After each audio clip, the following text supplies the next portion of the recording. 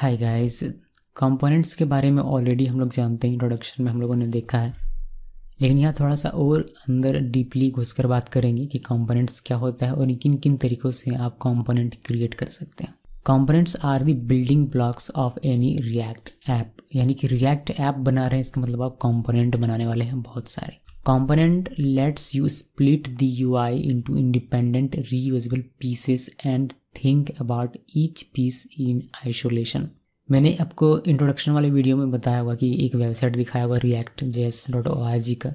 इसमें नव बार एक अलग कंपोनेंट है, उसका जो बैनर है वह एक अलग कंपोनेंट है। उसके जो कार्ड्स हैं वो अलग अलग कंपोनेंट है। जी हाँ वही कंपोनेंट है। उसी को उसी को कहते हैं UI यानी कि उसी पूरे UI को स्प्लिट कर दिया गया एक छोटे छोटे कंपोनेंट में, जिसको आप रीयूज़ कर सकते हैं, जिसको आप मेंटेन कर सकते हैं बेहतर तरीके से और सारे के सारे इंडिपेंडेंट हैं।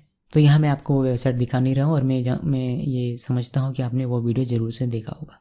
Components are like JavaScript functions components are like JavaScript functions they accept arbitrary inputs called props and returns. React element describing what should appear on the screen. अभी तक जब हम लोग कंपोनेंट बनाते थे, हम लोग सिंपली सिंपली कंपोनेंट बनाते थे, हम लोगों ने प्रॉप्स की कहीं ज़िक्र नहीं की थी। लेकिन जब आप कंपोनेंट बनाते हैं तो वहाँ प्रॉप्स आता है। प्रॉप्स क्या होता है, ये हम लोग डिटेल में बात करेंगे, लेकिन फ़िलहाल जान लीजिए कि वहाँ एक प्रॉप्स है। प्रॉप्स मीन्स प्रॉपर्टीज़ वहाँ कुछ प्रॉपर्टीज़ आती हैं, जिनका आप यूज़ कर सकते हैं। और कंपोनेंट क्या होता है सिंपली जावास्क्रिप्ट फ़ंक्शन होता है आप देखते हैं उसको क्लास कीवर्ड यूज़ करके बनाते हैं बट वो एक्चुअली में है फ़ंक्शन ही ऑब्जेक्ट ही जावास्क्रिप्ट में सब कुछ क्या है? ऑब्जेक्ट है। तो फ़ंक्शन भी एक ऑब्जेक्ट है क्लास जो बना रहे हैं वो भी एक ऑब्जेक्ट है। जो एलिमेंट हम लोग बनाते हैं कंपोनेंट में वो क्या डिस्क्राइब करता है? वो डिस्क्राइब करता है कि किस तरीके से वो स्क्रीन पर दिखेगा। मान लीजिए कि एक एच वन ही बनाया तो उसको हम लोगों ने एच वन ही क्यों बनाया? बिकॉज़ मुझे एक एच वन चाहिए मुझे एक हेडिंग चाहिए मुझे जा, मैं जानता हूँ कि वह एक हेडिंग की तरह स्क्रीन में दिखना चाहिए। Always start component names with the capital letter जब भी आप कॉम्पोनेंट बनाते हैं तो ध्यान रखें कि उसका नाम कैपिटल लेटर के साथ में लिखें। क्यों? Because React treats components starting with lower case letter as DOM tag अगर आप लोअर केस में बनाते हैं तो वह डॉम टैग माना जाएगा। For example div represents an H T M L div tag but app represents a component requires app to be in scope so app चूँकि कैपिटल में ए है इसलिए ये एक रिएक्ट कॉम्पोनेंट है। रिएक्ट ऐप एलिमेंट भी इसको आप कह सकते हैं। सो so, ध्यान रखना है कि आपको कंपोनेंट का नाम का फ़र्स्ट लेटर कैपिटल में लिखना है हमेशा। ये तो कंपोनेंट की बातें हो गई कि कंपोनेंट क्या होता है कंपोनेंट में क्या क्या रूल है फ़र्स्ट लेटर कैपिटल में लिखना है कंपोनेंट क्या होता है क्या इसमें आता है ये सारी चीज़ें। कंपोनेंट आप दो तरीके से बना सकते हैं। इन रिएक्ट पहला जो तरीका है, वह है फ़ंक्शन कंपोनेंट्स या फिर फंक्शनल कंपोनेंट्स दोनों में से कुछ भी आप कह सकते हैं। It is a JavaScript function which accept a single props object argument with data and returns a React element function components कुछ नहीं, एक जावास्क्रिप्ट फ़ंक्शन है जो कि एक सिंगल प्रॉप ऑब्जेक्ट आर्ग्यूमेंट के तौर पर लेता है। विथ डेटा और ये रिटर्न करता है, ये जो फ़ंक्शन है, ये रिटर्न करता है एक रिएक्ट एलिमेंट सो इस फ़ंक्शन के पास, जो कि एक्चुअली में फ़ंक्शन कंपोनेंट है, इसके पास आर्ग्यूमेंट के तौर पर एक ऑब्जेक्ट आता है, जिसे प्रॉप्स कहते हैं विथ डेटा और ये फ़ंक्शन रिटर्न करता है एक React element syntax without props में पहले आपको दिखा रहा हूँ दिन मैं आपको विथ प्रॉप्स दिखाऊँगा. सो so, इसमें प्रॉप्स आ रहा है बट मैंने इसका यूज़ नहीं किया। तो मैंने लिखा फ़ंक्शन फ़ंक्शन का मेरा कोई भी नाम हो सकता है। पहला लेटर अगर आप कैपिटल देंगे तो बेहतर है। हालाँकि फ़ंक्शन में के साथ हम लोग ऐसा करते नहीं है बट यहाँ ये फ़ंक्शन हमारा एक कंपोनेंट का काम करेगा। देन ये रिटर्न करेगा एक रिएक्ट एलिमेंट एग्ज़ाम्पल के तौर पर मैंने लिखा फ़ंक्शन स्टूडेंट स्टूडेंट का एस मैंने कैपिटल लिखा हुआ है।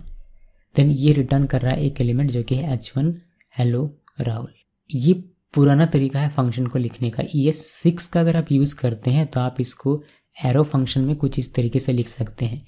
कॉन्स्ट स्टूडेंट इक्वल पैरेंथिस देना है बिकॉज़ यहाँ कोई भी आर्ग्यूमेंट नहीं है तो पैरेंथिस मैंने दे दिया एरो सैन एरो सिंबल देना है। Arrow symbol means equal sign और एंगल ब्रेकेट देना है।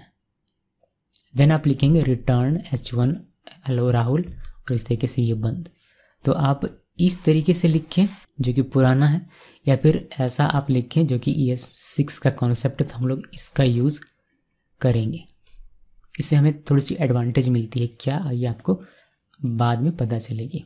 विथ प्रॉप्स की बात करें फंक्शनल कंपोनेंट्स की, इसका सिंटेक्स कुछ इस तरीके से है फ़ंक्शन लिखते हैं फ़ंक्शन का नाम लिखते हैं देन बिटवीन पैरेंथेसिस यहाँ आपको प्रॉप्स लिखना है।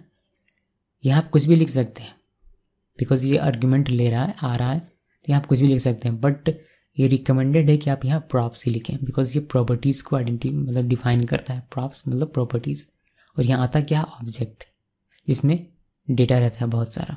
प्रॉप्स इसी लिए लिखने को कहा गया बिकॉज़ सब जितने भी डेवलपर हैं प्रोग्रामर से सब लोग प्रॉप्स लिखते हैं और आप वही नाम यूज़ करेंगे। तो अगर आपका कोड कोई और पढ़ रहा है तो उसको सहूलियत होगी समझने में कि क्या ये है। सो so, प्रॉप्स लिखना है यहाँ स्मॉल लेटर में। देन ये क्या करता है? वही एक रिएक्ट एलिमेंट रिटर्न करेगा। एग्ज़ाम्पल के तौर पर मैंने लिखा फ़ंक्शन स्टूडेंट प्रॉप्स रिटर्न ले लिया मैंने एक एच वन लेकिन हम लोगों ने यहाँ प्रॉप्स का कहीं यूज़ नहीं किया। अगर प्रॉप्स का आप यूज़ करते हैं, मान लीजिए कि प्रॉप्स यानी कि एक ऑब्जेक्ट आ रहा है, उस ऑब्जेक्ट में प्रॉपर्टी और वैल्यू है। प्रॉपर्टी है मान लीजिए कि नेम यानी कि की की है नेम और उसका वैल्यू होगा मान लीजिए राहुल ठीक है? उसका हम लोग यूज़ करते हैं तो इस तरीके से आप यूज़ कर सकते हैं। फ़ंक्शन स्टूडेंट प्रॉप्स और हेलो करली ब्रेकेट के अंदर जे एस एक्स में आप लिख रहे हैं करली ब्रेकेट के अंदर में प्रॉप्स जो कि ऑब्जेक्ट है डॉट देकर उस की को, यानी कि प्रॉपर्टी को नेम तो ये अल्टीमेटली बन जाएगा। इसमें क्या वैल्यू राहुल। तो ये हेलो राहुल बन जाएगा। ये डायनेमिकली आप कंटेंट इसमें डाल रहे हैं। तो इस तरीके से भी आप यूज़ कर सकते हैं फंक्शनल कंपोनेंट का। इसी चीज़ को आप ये सिक्स में इस तरीके से एरो फ़ंक्शन के तौर पर लिख सकते हैं। कॉन्स्ट लिखना है keyword student equal arrow return H one hello props dot name अब यहाँ मैं ये डिस्कस नहीं कर रहा हूँ कि यहाँ कॉन्स्ट कीवर्ड क्यों है। ये एरो क्या कर रहा है? यहाँ पर प्रॉप क्यों लिखा हुआ है? सॉरी ये पैरेंथेसिस क्यों दिया हुआ है?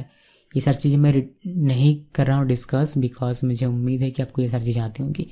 इसको आप और छोटा कर सकते हैं बिकॉज़ हम लोग जानते हैं कि एरो फ़ंक्शन में अगर आप सिर्फ़ एक एलिमेंट रिटर्न लेते हैं तो आप इस करली को इस करली को और इस रिटर्न कीवर्ड को सबको हटा सकते हैं। बट रहने देते हैं ये हमें बिकॉज़ हमें हमेशा मल्टीपल एलिमेंट्स को रेंडर करने की आवश्यकता पड़ेगी।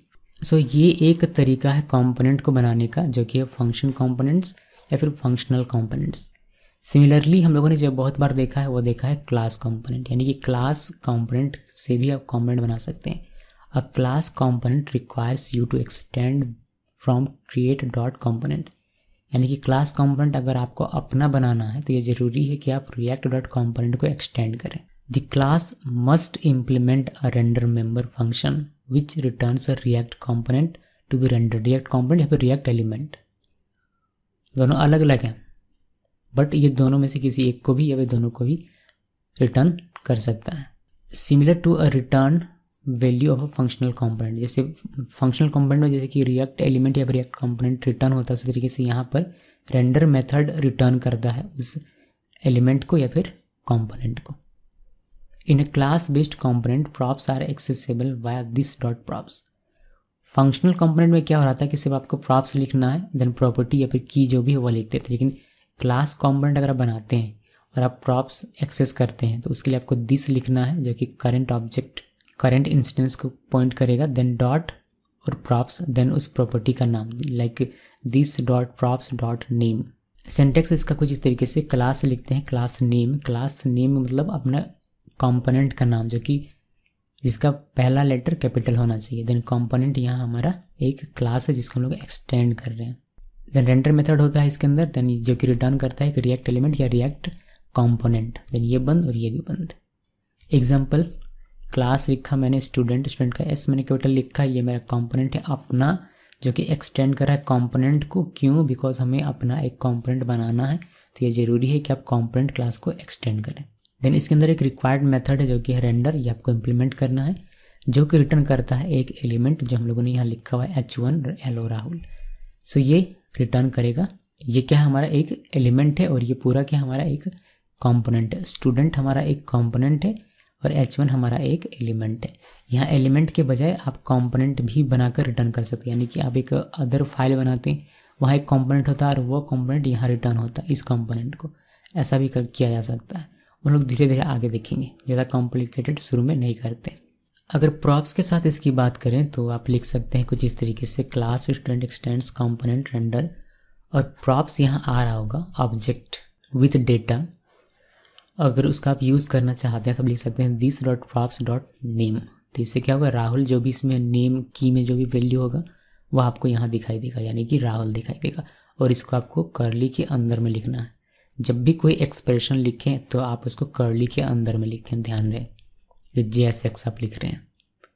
और इस करली के अंदर कोई भी आप जावा स्क्रिप्ट लिख सकते हैं। ये भी हम लोग देखेंगे आगे डिटेल में। सो so, हमने देखा कि कंपोनेंट क्या होता है? कंपोनेंट कितने टाइप से बनाया जाता है? फंक्शनल और क्लास कंपोनेंट अब कंपोनेंट को कैसे रेंडर करते हैं उसको देख लेते हैं। हालाँकि हमने देखा हुआ है फिर भी देख लेते हैं। Rendering a component direct direct example देखिए। रिएक्ट डोम लिखना है। डोम का D M capital then dot render हमारा कंपोनेंट हम लोगों ने बनाया था स्टूडेंट नाम का। चाहे वो अपनी क्लास का यूज़ करके बनाया हो या फिर फ़ंक्शन का यूज़ करके बनाया हो। सेम तरीके से आपका रेंडर किया जाएगा। सो स्टूडेंट लिखा देन ये सेल्फ क्लोजिंग होगा बिकॉज़ इसका कोई क्लोजिंग टैग नहीं है, इसीलिए। तो स्टूडेंट स्लैश देना है, इसको क्लोज कर देना है सेल्फ क्लोज देन ये कहाँ रेंडर होना चाहिए, वह आप यहाँ लिखते हैं। तो मैंने लिखा document dot get element by I D root अगर आप कोई एट्रीब्यूट देना चाहते हैं फॉर एग्ज़ाम्पल मैंने लिखा React DOM dot render student name equal Rahul then इसको मैंने सेल्फ क्लोज किया। और ये कहाँ रेंडर हो? रूट में, जिसकी बड़ी रूट है वहाँ। देखिए, यहाँ जो आप रेंडर कर रहे हैं, इसमें आपने क्या लिखा इस कंपोनेंट में? एक एट्रीब्यूट और वैल्यू दिया है। ये जो एट्रीब्यूट और वैल्यू है, ये जाता है प्रॉप्स के पास ऑब्जेक्ट के तौर पर। यानी कि ये जो भी आप डेटा यहाँ लिखेंगे, यहाँ आप और भी डेटा लिख सकते हैं। ये सारे डेटा जाएँगे इस कंपोनेंट के पास। चाहे वह फ़ंक्शन के थ्रू बनाया गया हो या क्लास का यूज़ करके बनाया हो, लेकिन ये जो डेटा आप यहाँ लिखते हैं, जो भी एट्रीब्यूट आप यहाँ लिखते हैं, वो सारे एट्रीब्यूट जाते हैं। इस कंपोनेंट के पास जो कि प्रॉप्स ऑब्जेक्ट के पास जाते हैं विथ डेटा और वहाँ पर आप यूज़ करते हैं इसको लाइक प्रॉप्स डॉट नेम तो आपको राहुल मिल जाता है। या फिर क्लास के अंदर आप यूज़ करते हैं this dot props dot name तो वहाँ भी आपको राहुल मिल जाता है। फॉर एग्ज़ाम्पल मैंने क्लास का यहाँ एग्ज़ाम्पल सॉरी मैंने यहाँ फ़ंक्शन का यहाँ एग्ज़ाम्पल दिखाया। आप सिंपली इसी को एज्यूम कर सकते हैं क्लास के लिए भी। जैसे function student props return H one hello props dot name और इसको रेंडर करते वक्त हम लोगों ने यहाँ लिख दिया है नेम इक्वल राहुल तो जब ये रेंडर होगा, ये जो हमारा एलिमेंट है, ये जब रेंडर होगा, ये जो कंपोनेंट जब ये रेंडर होगा तो ये जो नाम है, जो कि एट्रीब्यूट और वैल्यू है, ये अल्टीमेटली ऑब्जेक्ट के तौर पर जाता है इस प्रॉप्स के पास. और इस प्रॉप्स जो कि एक ऑब्जेक्ट है, ये अपने की के साथ, यानी कि प्रॉपर्टी नेम के साथ एक्सेस होता है ये वाला वैल्यू राहुल सबको दिखाई देगा हेलो ये पूरा रिप्लेस हो जाएगा राहुल से। सेम चीज़ काम करेगा क्लास कंपोनेंट के लिए भी। बस आपको उसको दिस के साथ लिखना यानी कि this dot props dot name लिखना पड़ेगा एक्सेस करने के लिए, इस नेम एट्रीब्यूट वैल्यू को। When React sees an element representing a defined component it passes J S X attribute to this component as a single object we call this object props so यहाँ मैंने लिख दिया है कि जब react देखता है कि हमारा जो यूज़र डिफाइंड कंपोनेंट है, इसके पास इसके पास कुछ एट्रीब्यूट्स हैं तो इस एट्रीब्यूट्स को ये पास कर देता है इस प्रॉप्स ऑब्जेक्ट के पास, जिसका यूज़ आप इस फ़ंक्शन के अंदर या फिर अगर आपने क्लास बनाया है तो प्रॉप्स वहाँ लिखा हुआ कहीं रहता है, जैसे कि यहाँ प्रॉप्स लिखा हुआ है। आपको प्रॉपर पता चलता है कि ये प्रॉप्स यहाँ लेकिन क्लास में आप प्रॉप्स कहीं डिफाइन नहीं करते। डायरेक्ट डायरेक्टली आप उसको प्रॉप्स इस तरीके से नेम दिस डॉट करके नेम यूज़ कर सकते हैं। सो so, ये इसका काम है रिएक्ट का काम है कि अगर ऐसा कुछ लिखा जाता है यूज़र डिफाइंड कंपोनेंट में कोई एट्रीब्यूट है तो उसको पास करो एक सिंगल ऑब्जेक्ट की तरह जिसे हम लोग कहते हैं प्रॉप्स ऑब्जेक्ट होपफुली प्रॉप्स का डेफिनेशन भी आपको क्लियर हो गया होगा और काफ़ी सारी चीज़ें क्लियर हो गई होंगी। देखिए इसमें क्या क्या आपका क्लियर हो जाना चाहिए मैं आपको बताता हूँ। एक तो कंपोनेंट क्या होता है जो हम लोगों ने पहले भी देखा है कंपोनेंट कितनी प्रकार से बनाया जाता है? फंक्शनल या फिर फ़ंक्शन कंपोनेंट और क्लास कंपोनेंट कैसे प्रॉप्स जब आप यूज़ करेंगे तो आप प्रॉप्स किस तरीके से लिखेंगे? फंक्शनल हो तो यहाँ पर लिखना है। इसको एक्सेस कैसे करना है? अगर क्लास हो तो कैसे एक्सेस करना है? और कैसे लिखना है? और कैसे आप यहाँ पर एट्रीब्यूट्स लिखते हैं? जब रेंडर करते हैं तब। हालाँकि ये सारी चीज़ छोटी छोटी चीज़ें हम लोग अलग से सेपरेटली भी देखेंगे बट इतना आपको जानकारी हो जाना चाहिए। अभी इतने को हम लोग ज़रा सा एग्ज़ाम्पल करके देख लेते हैं प्रैक्टिकली देन आगे बात करेंगे। ये हम लोगों ने बहुत बार देखा है क्लास वाला तो क्लास हम लोग हटा देते हैं यहाँ से यहाँ तक। और हम यहाँ ऐप डॉट जेएस जो हमारा है, इसमें हम लोग एक फंक्शनल कंपोनेंट बनाएँगे। या फिर मैं क्या करता हूँ, मैं इसको कट कर देता हूँ, ठीक है? डोंट सेव करते हैं, एक नया फ़ाइल बनाते हैं हम लोग एसआरसी के अंदर। और इसको हम लोग नाम देंगे स्टूडेंट ये हमारा नया कंपोनेंट है स्टूडेंट डॉट जेस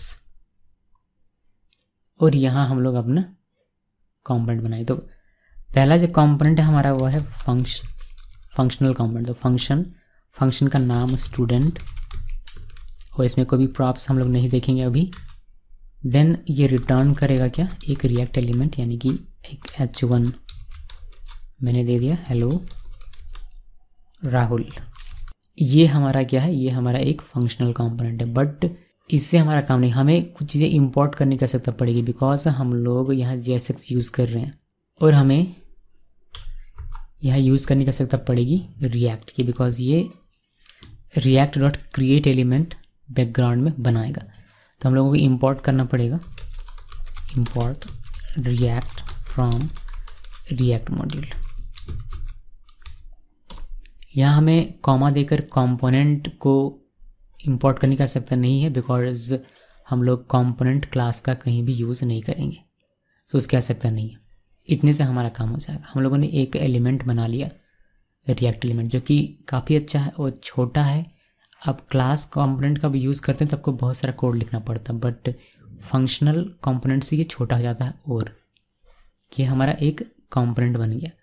अब इस चीज़ को आप ऐसे लिखें या फिर आप इसको ई एस सिक्स की तरह, यानी कि एरो फ़ंक्शन का यूज़ करके लिखें, जो कि मैं लिख रहा हूँ कॉन्स्ट स्टूडेंट इक्वल पैरेंथेसिस कोई भी हमारा यहाँ आर्गुमेंट नहीं है एरो देन ओपनिंग क्लोजिंग कर ली और ये रिटर्न करेगा, एक एच वन इसमें लिख देंगे हेलो तो आप ऐसा भी लिख सकते हैं। सो हम लोग इसको हटाते हैं। ये पुराना तरीका है। पुराना तरीका नहीं देखना है। हम लोग देखेंगे सिर्फ़ ये नया तरीका। सो हम लोगों ने एक कॉम्पोनेंट बना लिया, जो कि जिसके अंदर एक एलिमेंट है। इसको रेंडर करते हैं। रेंडर करने के लिए हम लोग जाएँगे इंडेक्स डॉट जेएस के पास और यहाँ हम लोग इसको रेंडर करेंगे। तो यहाँ पर हम लोग को पहले इसको इम्पोर्ट करना पड़ेगा। तो यहाँ इम्पोर्ट कर लेते हैं। इसको पूरे को हटा देना है। ये वाला पूरा हटा देते हैं। यहाँ लिखते हैं इंपोर्ट स्टूडेंट स्टूडेंट का S capital from current directory और स्टूडेंट और यहाँ पर हमें ऐप को रेंडर नहीं करना है बल्कि हमें रेंडर करना है स्टूडेंट को। और इसको कर देते हैं सेव ये कहाँ रेंडर होगा? ये होगा इंडेक्स डॉट एच टी के डिव यहाँ पर, जिसकी आईडी रूट है। वही हम लोगों ने लिखा get element by ID root इसको सेव करते हैं। और इसको भी सेव कर लेते हैं। ये भी हमारा सेव अभी तक नहीं हुआ है तो सबको सेव कर लिया मैंने सभी फ़ाइल को सेव कर लेना है प्रॉपर तरीके से। देन हम लोग चलते हैं वेब पेज में। अच्छा वेब पेज में जाने से पहले, चूँकि ये यहाँ इम्पोर्ट हो रहा है तो ये ज़रूरी है कि आप इसको यहाँ एक्सपोर्ट करें। सो इसको हम लोग एक्सपोर्ट डिफ़ॉल्ट कर लेते हैं। एक्सपोर्ट डिफ़ॉल्ट स्टूडेंट अब सेव करते हैं इसको। अब हम लोग चलते हैं वेब पेज में। अब देखेंगे आपको यहाँ मिलेगा हेलो राहुल और इसको इंस्पेक्ट करेंगे तो आपको यहाँ हेलो राहुल देखने को मिलेगा जो कि रेंडर होकर हमें दिखाई दे रहा है इन दोनों डिव के बीच में जिसकी आईडी रूट है। तो ये तो काम हो गया हमारा। फंक्शनल कंपोनेंट का एग्जांपल हम लोग ने देख लिया। प्रॉप्स का अगर आप देखना चाहते हैं तो उसका भी मैं आपको छोटा सा एग्ज़ाम्पल दिखा दिखा देता हूँ बट प्रॉप्स के बारे में डिटेल में हम लोग बात करेंगे किसी सेपरेट वीडियो में।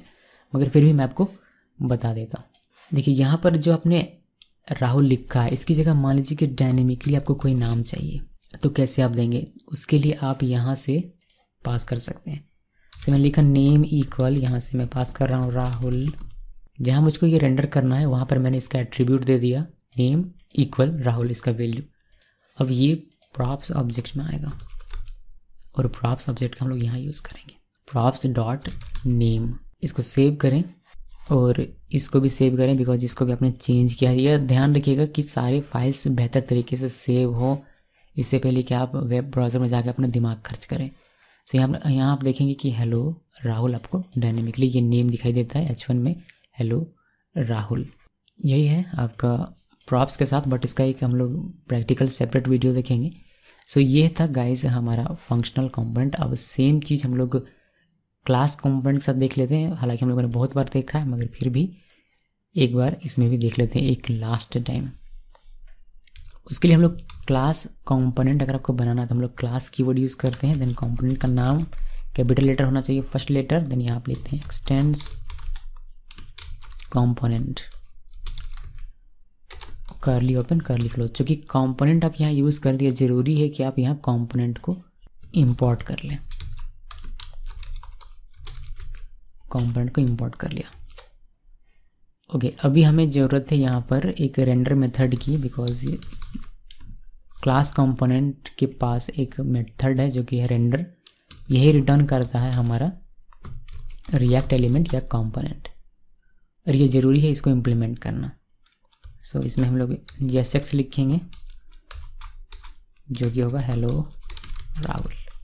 सेव करते हैं बाकी सारी चीज़ें सेव रह, सेम रहेगी. इस, इसको हम लोगों ने एक्सपोर्ट कर लिया हम लोगों ने यहाँ इसको रेंडर किया मैं पहले यहाँ से इसको हटा देता हूँ। हमें एट्रीब्यूट की भी ज़रूरत नहीं है। सेव करें। सब कुछ सेव है। उसके बाद हम लोग इसको रिफ्रेश करें तो हमें यहाँ हेलो राहुल दिखाई देता है और हमारा ये डिव यहाँ देखेंगे हेलो राहुल हमें दिखाई देता है। अगर इसमें भी आपको प्रॉप्स यूज़ करना है तो उस केस में आप पहले तो यहाँ चलाइए और यहाँ राहुल को हटाकर हम लोग क्या करेंगे? Curly open and curly close then this keyword का यूज़ करना है प्रॉप्स और नेम। और ये हमें यहाँ पास करने का सकता है। सो so, मैंने लिख दिया नेम इक्वल राहुल जो हमारा वैल्यू था। सेव किया मैंने इसको। देखिए एक तो सेव आपको सही तरीके से करना सभी फ़ाइल को। आप यहाँ देखेंगे नंबर ऑफ़ यहाँ दिखाई देता है कि कितना फ़ाइल रिमेन है सेव करना यहाँ ब्लू कलर के साथ। तो इसको ध्यान में रखिएगा जब भी आप सेव करते हैं। वन मीन्स मेरा एक फ़ाइल है जो कि सेव नहीं हुआ। अब यहाँ देखेंगे कि ये डॉट दिखाई दे रहा है यहाँ पर। जो भी डॉट दिखाई दे रहा है, वो सेव होना बाकी है। तो यहाँ पर चलते हैं और इसको सेव कर लेते हैं। तो सेव कर दिया मैंने सभी फ़ाइल को। और यहाँ देखेंगे आप तो ये आपको दिखाई देगा कि हेलो राहुल डायनेमिकली दिखाई दे रहा है। यहाँ एच में ये हेलो राहुल आपको देखने को मिलता है। सो so गाइज़ ये है आपका दो तरीके से कॉम्पोनेंट बनाना। एक फंक्शनल कंपोनेंट और दूसरा है हमारा क्लास कंपोनेंट दोनों में से किसी का भी आप यूज़ कर सकते हैं और अपना कंपोनेंट बना सकते हैं। बट दोनों का एक सिनेरियो है कि कब क्या आपको यूज़ करना चाहिए, ये सारी चीज़ें हम लोग डिस्कस करेंगे किसी सेपरेट वीडियो में। बट फ़िलहाल के लिए ये दो तरीके हैं जिसके थ्रू आप कंपोनेंट बना सकते हैं। एक फंक्शनल कंपोनेंट और दूसरा क्लास कंपोनेंट दोनों में आप प्रॉप्स का यूज़ कर सकते हैं। हमारा यहाँ मेन कॉन्सेप्ट प्रॉप्स नहीं था, हमारा यहाँ मेन कॉन्सेप्ट था कंपोनेंट कि कंपोनेंट क्या होता है और कंपोनेंट किस किस तरीके से बनाया जा सकता है। होपफुल्ली सभी को समझ में आया होगा और जब भी हम लोग देखेंगे, चाहे वह इस तरीके से बना हुआ कंपोनेंट हो या इस तरीके से हो कन्फ्यूज़ नहीं होंगे। मैं बहुत ही धीरे धीरे कॉन्सेप्ट्स को लेकर आगे बढ़ रहा हूँ और डिटेल में चीज़ें रिपीट हो रही हैं, मुझे पता है। लेकिन रिएक्ट थोड़ा सा डिफ़िकल्ट है, लगता है सभी को शुरू शुरू में। इसीलिए मैंने सोचा कि इसको धीरे धीरे थोड़ा सा रिपीट होगा, चलेगा, लेकिन एक एक वर्ड क्लियर होना चाहिए। तभी है सीखने में इसका मज़ा। अदरवाइज़ समझ में नहीं आएगा तो फिर कोई फ़ायदा नहीं होगा इसका। सो so, उम्मीद करता हूँ कि आपको ठीक तरीके से समझ में आया होगा। इस वीडियो को देखने के लिए धन्यवाद।